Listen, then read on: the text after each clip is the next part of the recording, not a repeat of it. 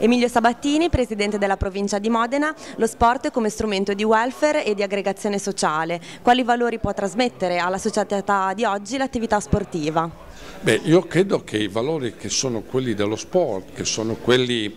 eh, del vive, dello stare assieme, del, del sacrificio, eh, dell'impegno quotidiano, della gratuità, siano valori importanti che la società dovrebbe recuperare perché è una società che ha vissuto molto sull'immagine, eh, sul non, eh, valore della gratuità,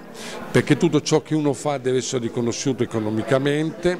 e quindi lo sport, eh, questa giornata sullo sport ci dà l'opportunità di ricominciare a ripensare come può essere la futura società. Lo sport può contribuire non solo sul piano educativo ma anche sul piano dei valori perché è da lì che la società e la nostra crisi può essere superata se da lì ripartiamo.